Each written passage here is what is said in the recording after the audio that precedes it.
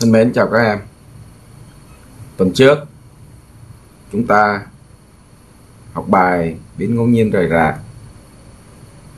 Ban đầu, Thầy giới thiệu các em đến cái bài biến ngẫu nhiên rời rạc của từng phần, của từng biến ngẫu nhiên nhé từng cái phân phối một. Thì hôm nay thầy tiếp tục sẽ giới thiệu các em về biến ngẫu nhiên rời rạc đặc trưng nhất trong chương trình học môn xác suất thống kê của các sinh viên khối kỹ thuật và khối công, kỹ thuật công nghệ và khối kinh tế. Mời các em nhìn lên màn hình. Hôm đó thầy đã nói về, giới thiệu qua về 17 cái phân phối xác suất vừa rời rạc vừa liên tục, đúng không? Và thầy cũng đã giới thiệu các em sơ bộ về phân phối đều rời rạc là các phân phối mà được thể hiện trên các tập x, gồm có n phần tử x x1 x2 và xn và được ký hiệu là như vậy các em ạ. Discrete discrete sen đều rời rạc nhé như vậy nó sẽ có đều liên tục nữa. Đều liên tục thì ở phần sau ta sẽ học. Và để phân phối, gọi là phân phối đều rời rạc thì xác suất của nó thì ôn lại này nhé là một trên n này thì nhắc lại đây chính là cái cục xác suất gồm n mặt, gồm n mặt nhé thay vì 6 mặt thì các em tưởng tượng nó gồm n mặt rồi. Và như vậy, hôm đó thầy cũng đã nói hai công thức này, các em về nhà có ai chứng minh chưa nào? Rất đơn giản, đúng không? Riêng trong bài học thì phần chứng minh thầy không bao giờ đề cập đến chứng minh các em sẽ tìm những cái sách giáo khoa của bất kỳ tác giả nào, kể cả thầy và một số các thầy cô ở bên đại học bách khoa cũng như bên đại học kinh tế. Dạ. Các em sẽ thấy được các chứng minh. Thì ở đây, kỳ vọng của nó là cái số bình quân gia quyền như chúng ta đã thấy. N n giá trị, bình quân n giá trị, bình quân gia quyền. Và đây chính là phương sai phương sai của cái tập x1 x2 cho đến xn nó bằng công thức này. Nó thể hiện, đây chính là bằng trung bình của bình phương, trừ bình phương bình phương trung bình. Đấy, nhá. Và đặc biệt nếu x1 bằng 1 x2 bằng 2 và xn bằng n thì cái công thức nó đơn giản hơn này, các em ạ. Công thức về kỳ vọng thì nó sẽ là n cộng 1 chia 2 và công thức về phương sai thì nó sẽ bằng n bình trừ 1 chia cho 12 chia cho 12 yeah. thì riêng cái phần này ờ, thầy nghĩ về mặt lý thuyết không có gì khó, hả?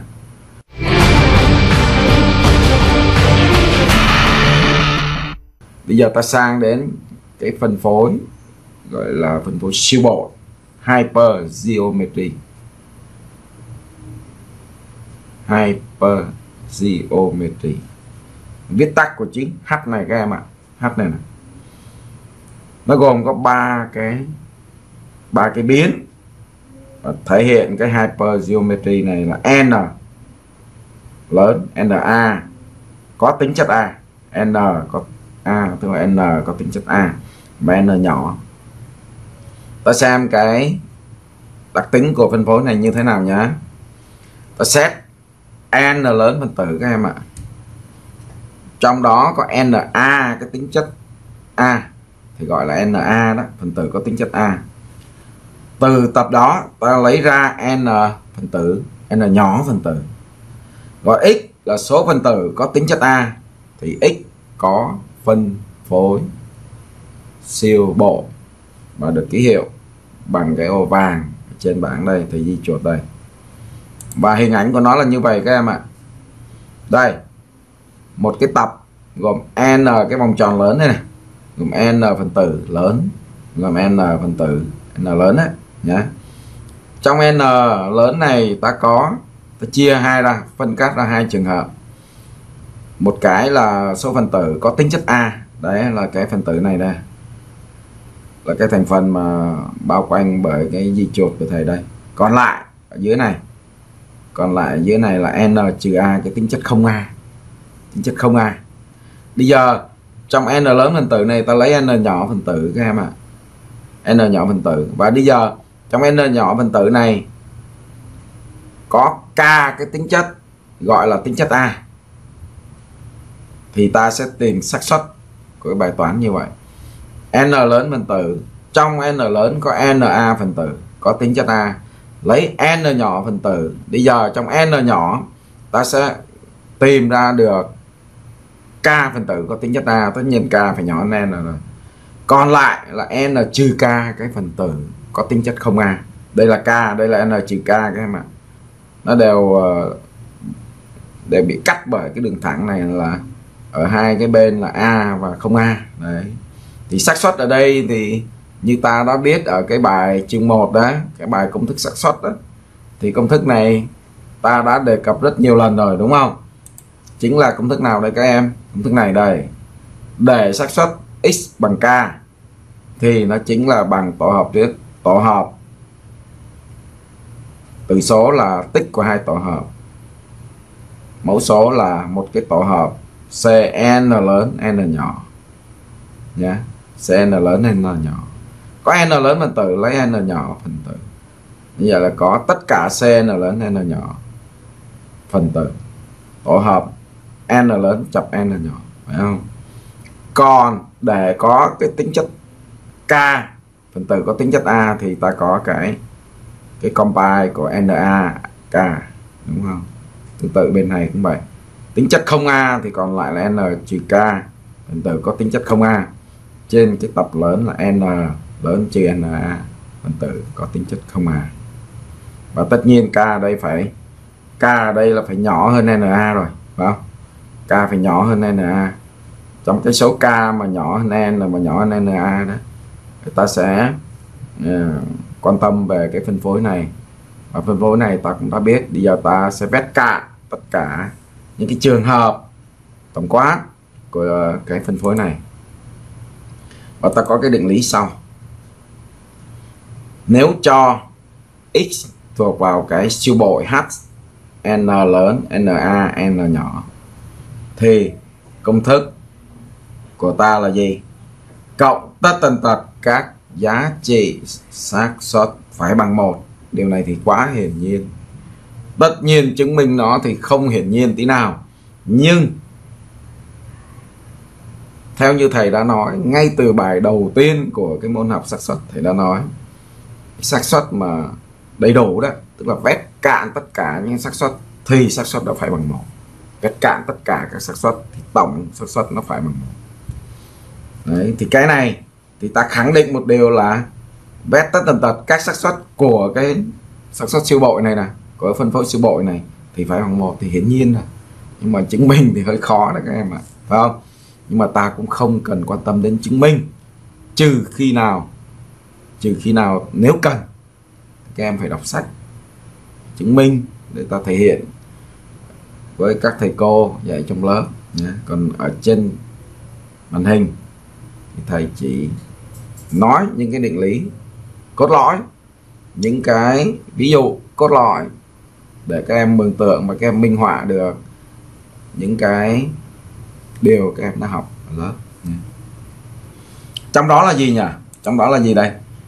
Trong đó thì x này nè, thuộc siêu bội h, n lớn na n nhỏ, thì kỳ vọng của nó sẽ bằng np các em phải nhớ nha.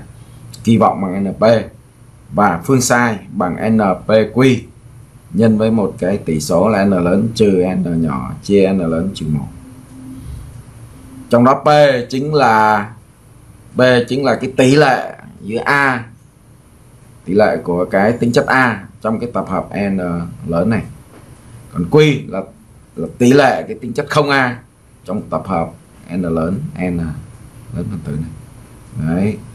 Thì ở đây ta nhớ thầy à, cũng yêu cầu về làm toán thì cái công thức xanh này nè là ít gặp nhưng mà cái này thì gặp nhiều này kỳ vọng thì em phải nhớ. Trong đó PQ thì dễ rồi. P là tỷ lệ các tính chất A tức là Na chia N lớn hả? Q là tỷ lệ tính chất không A. Đấy. định lý này thì hiển nhiên nhé, hiển nhiên cái phần xanh là hiển nhiên nhưng mà hai cái này thì hai cái tính chất vàng này cũng chứng minh nhưng mà cũng cũng không phải là tương đối dễ đâu phải không? Em sẽ tìm thấy những cái chứng minh ở trong các sách giáo khoa.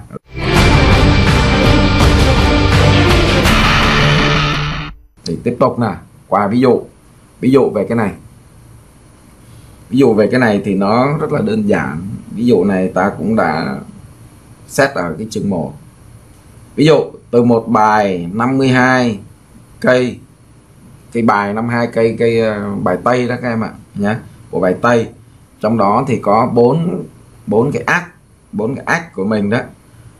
Gọi là ác nhé lấy ra ba cây, lấy ra ba cây tìm xác suất để có hai cây là ác, trong ba cây lấy ra có hai cây ác. Thì ta giải cái này rất là dễ, đúng không em? Này, ta làm ở, ta làm ở chương 1 rồi. Như vậy là n ở đây chính là mấy nhỉ n lớn ở đây là mấy các em? 52 52 cây ác là NA đúng không? NA bằng 4 NA bằng 4 đây, N lớn NA bằng 4 và N nhỏ là ta lấy 3 cây, ta lấy 3 cây ra. Thế thì để cái số K bằng 2 K bằng 2 đúng không? K bằng 2 thì ta áp dụng cái công thức để cho K bằng 2 tức là X bằng 2 đấy. Thì cái công thức hồi nãy ta ráp vào đây, cái này quá đơn giản thì nghĩ là không cần giải thích thêm. Giờ ta sang đến ví dụ, sang đến ví dụ. Ví dụ này thì lại muốn minh họa bằng Excel các em ạ. à thì thể hiện cái này minh họa bằng Excel thì thầy hy vọng là các em sẽ thể hiện, tự thể hiện ở nhà. Để vẽ được cái hàm mật độ xác suất của cái phân phối siêu bội H 30 10 và 15 30 10 và 15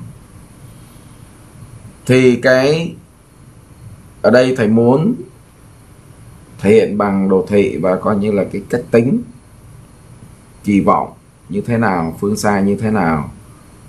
Đấy, và tìm median của nó như thế nào, tìm mốt của nó ra sao. Thì mấy cái này phải thể hiện bằng Excel các em ạ, bằng Excel. Giờ thầy giới thiệu qua, rồi mấy em thể hiện bằng Excel nhà nhá. Tại vì ở trên màn hình ờ, vì thể hiện Excel nó quá mờ đi, cho nên là thầy muốn là cái phần này các em làm ở nhà thì sẽ giới thiệu một số các công thức và cái cách cài gài công thức để mấy em tự làm nhé đây, như vậy giờ ta sẽ thể hiện một cái à, đồ thị về hàm mật độ nè và hàm phân phối nè. Đấy. mật độ thì ta biết rồi, phải không? Mật độ chính là từng điểm thì ta có cái này đây nè. Từng điểm từng điểm k k ở đây sẽ bằng mấy nhỉ? K có thể là bằng từ 0 cho đến cuối cùng là mấy? Là 15 k, là bằng từ 0 cho đến 15 nhưng mà ở đây ở đây k của ta phải nhỏ hơn cái số 10 này. Tại vì 10 này là NA k phải nhỏ hơn số 10 còn k mà k mà lớn hơn số 10 thì cũng có, nhưng mà xác suất nó bằng không. Đúng không? Làm gì làm gì mà có 10 phần tử mà ta lại lớn cái n, cái k của ta lại lớn hơn cái tính chất na này được? Như vậy là nếu mà trên lý thuyết là ta sẽ vét từ x k bằng 0 đấy cho đến k bằng 15 nhưng mà k bằng 11 thì nó bằng 10 rồi đúng không? K1 nó bằng 10 rồi. Tại vì cái này nếu mà lớn hơn thì cái này nó không không có công thức. Mà về mặt xác suất thì nó sẽ bằng không đúng không? Như vậy vấn đề là của ta là ta tính cái hàm phân phối tức là tổng các giá trị xác suất trước nó này, này. x x đi. Đấy. x ở đây thì x phải ở đây về mặt hình thức hoàn toàn, và x đi từ 0 cho đến 15 đây các em. Đấy. và cái đồ thị của nó, thầy vẽ bằng Excel, thầy chụp sang ở đây thôi. Thì ta thấy là đây là cái đồ thị nó nó nghiêng về bên trái nhiều hơn, nó nghiêng về bên trái nhiều hơn. Thì ta thấy là đây là cái điểm này chính là cái điểm 6 6 hay 7 đấy, đúng không? Màn hình nó hơi nhỏ 6 hay 7 chính là cái mốt của nó mốt của nó. Và cũng cái điểm 6 và điểm 7 cũng chính là sẽ là median của nó. Tại vì ta thấy là cái này là cái hình à, hình này, tổng diện tích của nó đó, tức là tổng của cái này nó sẽ bằng một, đúng không? Tổng nó sẽ bằng một. Thì cái median của nó cũng rơi vào khoảng 6 khoảng 7 đây. Thì ta sẽ thể hiện cái này bằng cái Excel, ta sẽ lấy chính xác hơn, đúng không? Như vậy là ta phải tính cái fx fx này là ta cộng dồn đó, nghe ta cộng dồn. Thì cái kỹ thuật cộng dồn thì thầy sẽ nói sau bây giờ, cái hàm này nè, cái hàm fx lớn này nè, nó thể hiện bằng cái hình thang các em ạ.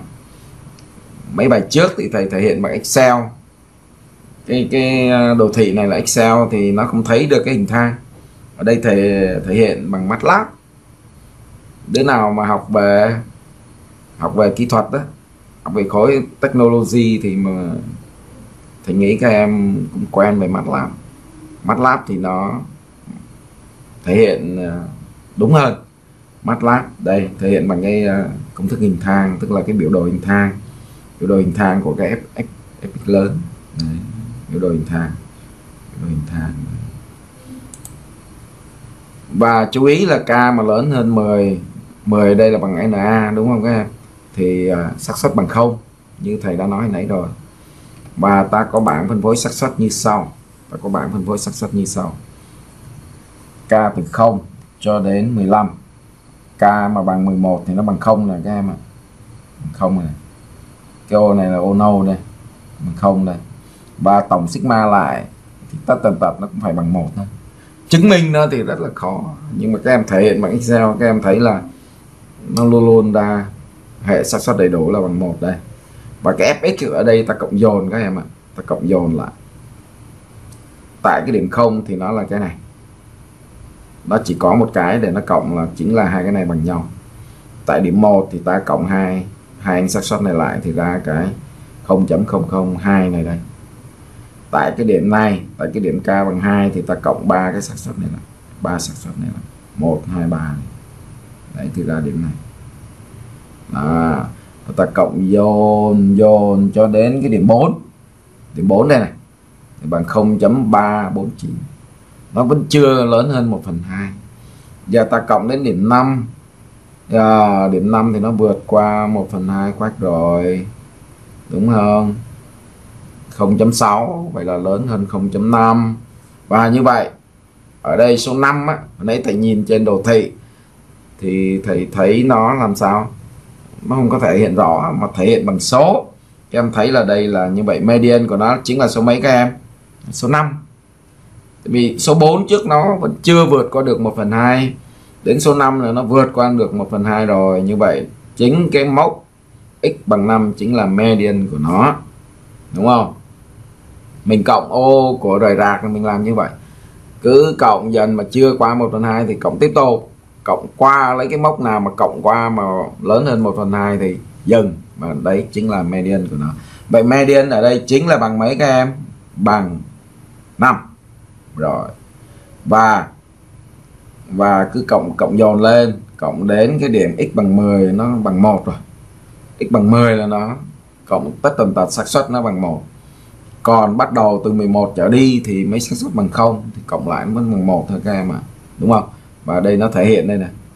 Kéo dài ra đây ở đây nó vẫn bằng 0 ở đây là chính là cái hàm hình thang.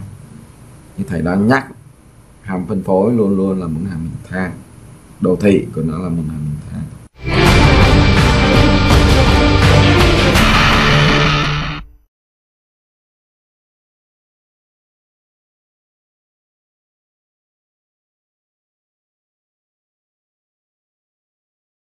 sang ví dụ này thầy nhắc lại nhé như vậy ví dụ trước à, các em thể hiện bằng Excel. Thầy nghĩ là thể hiện Excel thì dễ. Tại vì uh, uh, mấy cái hàm này là những cái hàm compile thôi. Hàm compile các em biết là compile đánh C O M B I N. Các em tính hai cái compile tử nhân nhau và chia cho mẫu. C e, N lớn e, N là nhỏ. Thì các em sẽ được công thức này. Và ta cài công thức fx thì ta cài cộng dồn lại cộng dồn lại. Và sau đó ta vẽ ta vẽ cái cột fx này bằng excel luôn. Không cần thể hiện bằng matlab đây là tại vì thầy dạy kỹ thuật thì thầy thể hiện còn các em ở bên à, khối kinh tế thì cứ vẽ cái cột fx lớn này thì nó cũng ra một cái kiểu hình thang, nhưng mà hình thang nó liên tục luôn. Thang nó liên tục lên, đúng không? Đấy. Giờ sang cái ví dụ này để các em thấy là nó có tính chất bổ sung cho cái ví dụ trước.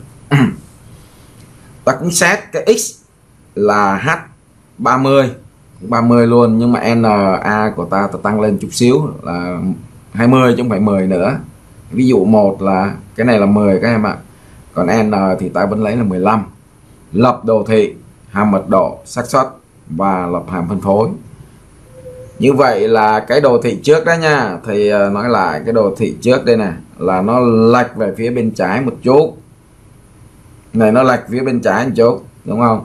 Và cái median của nó là số 5 các em, đúng không? Median của nó là số 5 đây, số 5 còn ta xem với cái này thì đồ thị của nó sẽ lệch ở bên phải và median của nó là cái gì nhá? Cũng tương tự như vậy thôi, cũng tương tự như vậy.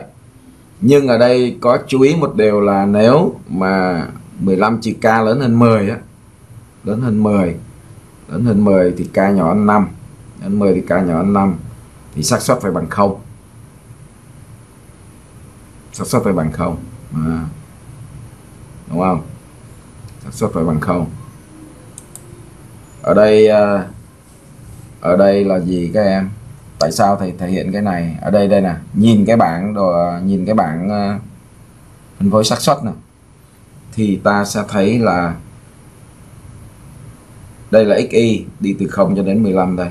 Pi của nó. Pi của nó là xác suất của nó tại đây. Tại sao? Tại sao mà k nhỏ 5 tức là k mà bằng 4 đó, thì xác suất là bằng 0 vì sao vậy? Ừ. Vì sao k bằng 4 thì các em xác suất là bằng 0 15 trừ k là gì các em? 15 trừ k là cái tính chất không A. Tính chất không A. Vậy tính chất A là 20 tính chất không A là 10 mà 15 trừ k là cái tính chất không A. Tính chất không A thì phải lớn hơn số 10 chứ.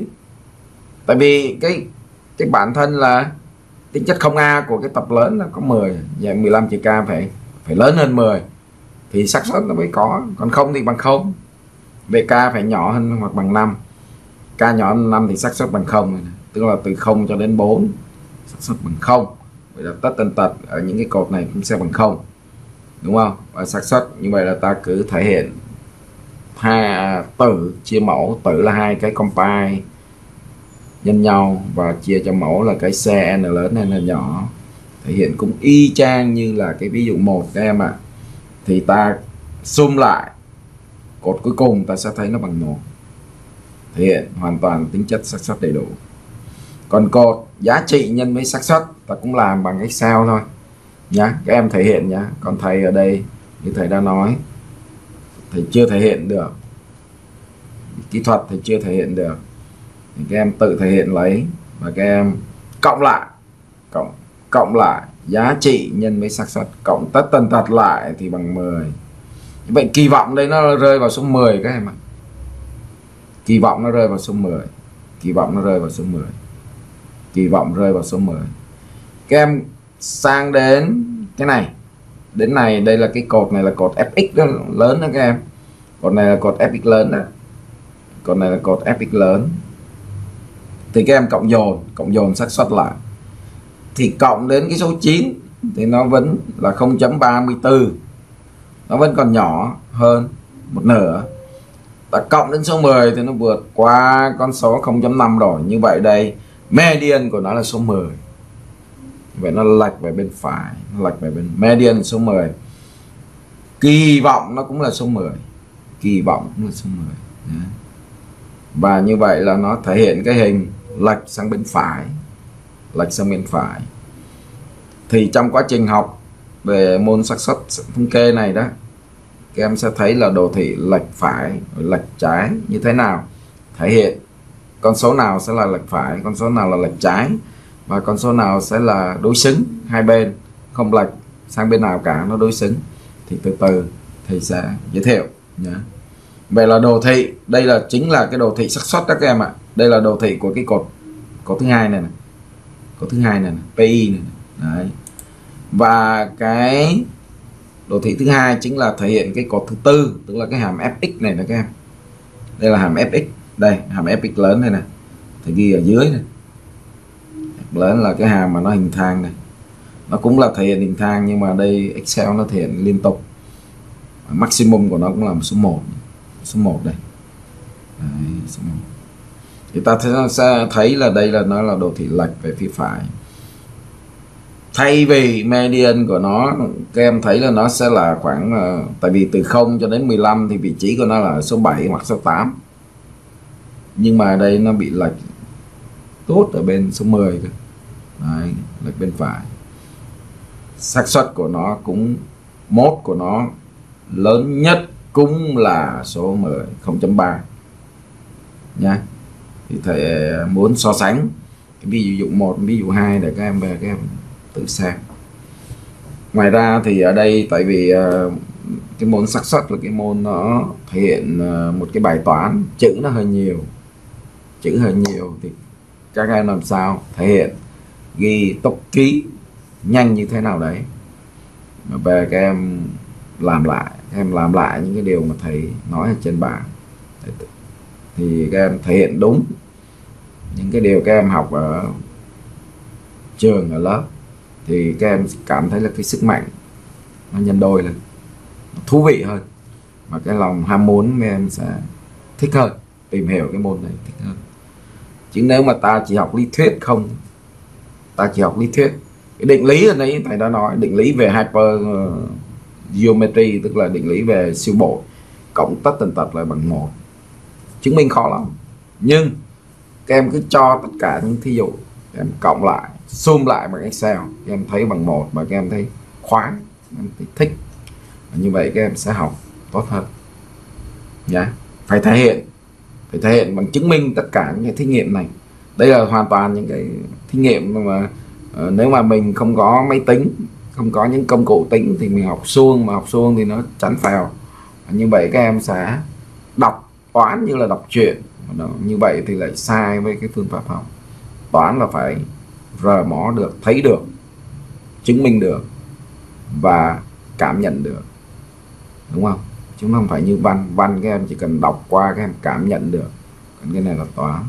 Thì thầy mong là mấy cái công cụ về tính toán mấy em phải sử dụng tốt để mấy em thể hiện những cái điều mấy em mong muốn nha đấy. Thì là nếu mà học lý thuyết thì các em chỉ biết là cái này à, là 30 20 15 nhưng mà thể hiện qua đồ thị thể hiện qua Excel thì các em sẽ tìm ra được tất tần tật mọi những mọi các đặc trưng số về cái biến ngẫu nhiên mình đặt ra. Ờ, thể hiện hết trên cái bảng này thể hiện hết nào là mốt median nào là kỳ vọng nào là phương sai.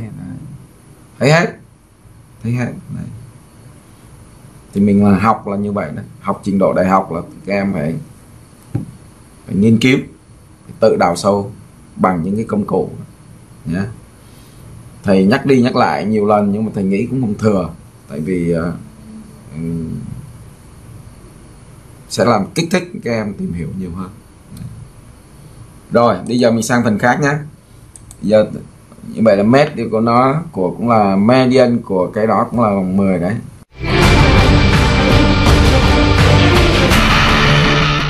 Rồi, bây giờ ta sang đến cái phần à, cái phân phối nhị thức. Một phân phối nhị thức.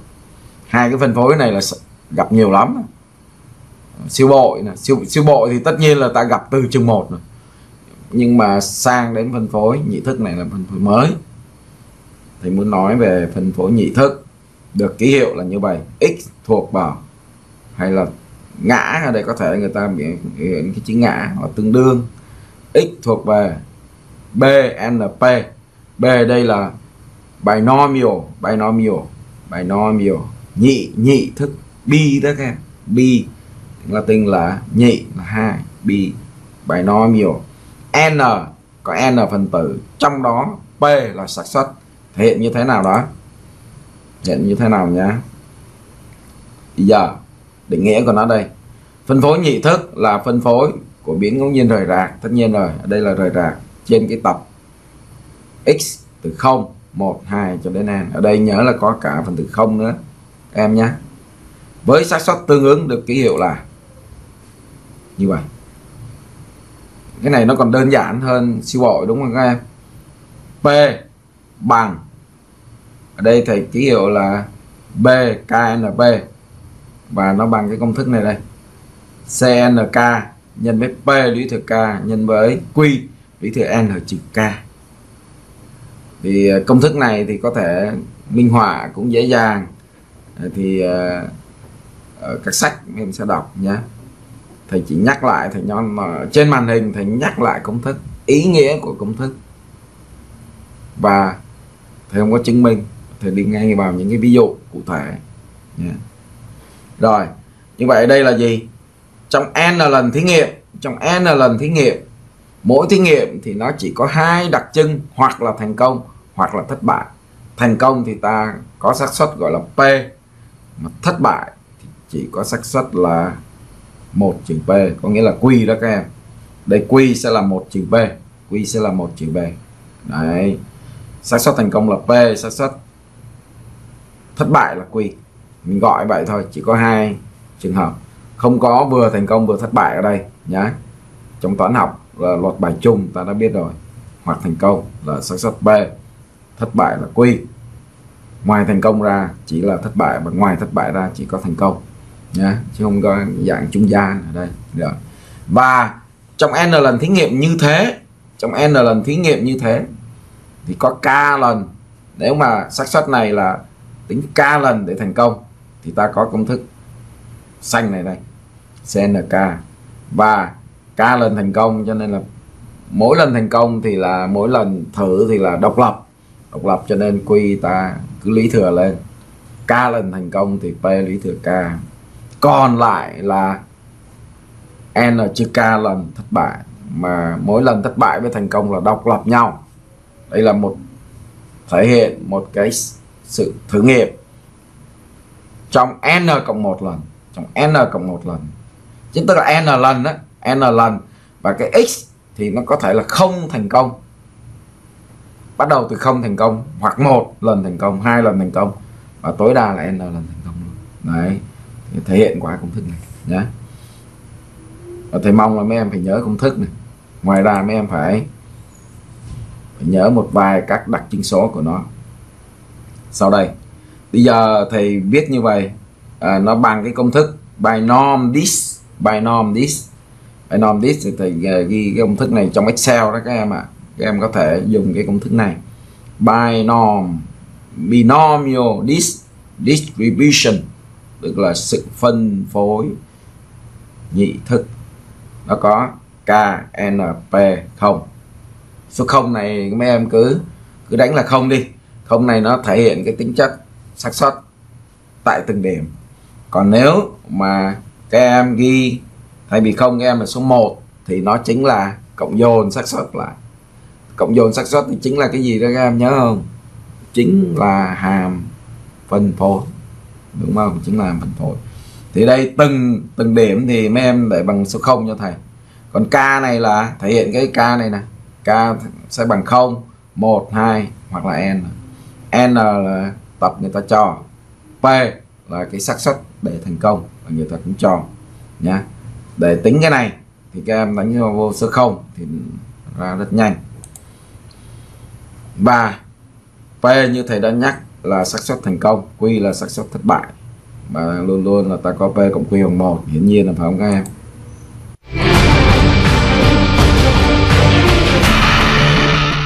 Và ta có một cái định lý giống như là siêu bội, giống như là siêu bội.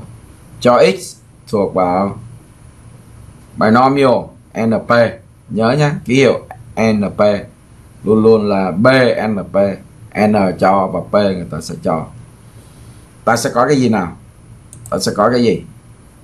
Ta có mấy cái vấn đề nè các đặc trưng số đầu tiên, thì cái này là hiển nhiên. Đây, cái công thức vàng là hiển nhiên, tức là cộng tất tần tật xác suất phải bằng một. Cái này như thầy đã nói, lý thuyết thì khó đấy. Chứng minh là phức tạp, nhìn vô có vẻ nó rắc rối. Nhưng mà không khó đâu, thực ra là không khó. Với trình độ toán, các em học năm thứ nhất toán 1 toán 2 toán 3 rồi. Thì mấy cái này chứng minh không khó. Nhưng mà nó là hiển nhiên. Hiển nhiên vì sao? Tại vì một một cái biến ngẫu nhiên bất kỳ thuộc phân phối nào thì xác suất của nó phải bằng một. Cộng tất tần tật là phải một. Kể cả liên tục, cộng tất tần tật cũng phải bằng một. Liên tục người ta lấy tích phân, nhớ không các em? Rồi động đụng hàng thì thầy sẽ sẽ sẽ nhắc nhé nhắc hoài để mấy em nhớ. Tại vì cứ nhắc hoài thì một lần, hai lần, ba lần mấy em sẽ nhớ. Đấy là cách thầy học bài dùng các em, đúng không? Rồi, và nhớ kỳ vọng của cái này bằng NP kỳ vọng bằng NP nó nó giống kỳ vọng gì các em? Kỳ vọng của siêu bộ, kỳ vọng của siêu bộ. Siêu bộ cũng bằng NP nhưng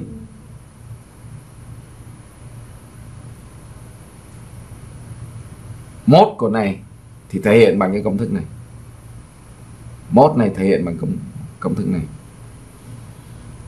Mốt thì uh, bằng cái à, uh, k không. Trong đó k không thì nó thỏa mãn cái bất đẳng thức này. Nhưng mà thầy ghi như vậy là ghi thôi. Tại vì các em chú ý nè np nè ở đây cũng np nè đây trừ q đây trừ q nè đây cộng một như vậy bên phải và bên trái của k không hơn nhau có một đơn vị. Và như vậy để nhớ cái mốt của cái này đó, nếu các em thấy này rắc rối, các em lấy là np luôn. Np luôn, tại vì một trừ q q nó là cái số luôn luôn nhỏ hơn một một trừ q là con số nó nhỏ hơn một. Cho nên là cái k không này là phải là số nguyên. Đấy. và nhớ, ở đây cái phương sai của nó là bằng npq phương sai là npq các em ạ nhé ở đây thầy à, không nhắc ở đây. Nhưng mà thầy nhắc lại là phương sai của nó bằng npq kỳ vọng của nó là np nhé npq mấy em cũng đã học nhiều mấy em cũng biết mấy cái này. À, trong bài học thì nhiều khi à, thầy thể hiện à, có thể là không đầy đủ nhưng mà trong giáo khoa thì thầy nghĩ mấy em hiểu thầy có thể thầy nhắc miệng ở đây thôi vấn đề là ta giờ ta sẽ làm toán nhé thì đụng đến thì thầy sẽ nhắc nhé. Nhé.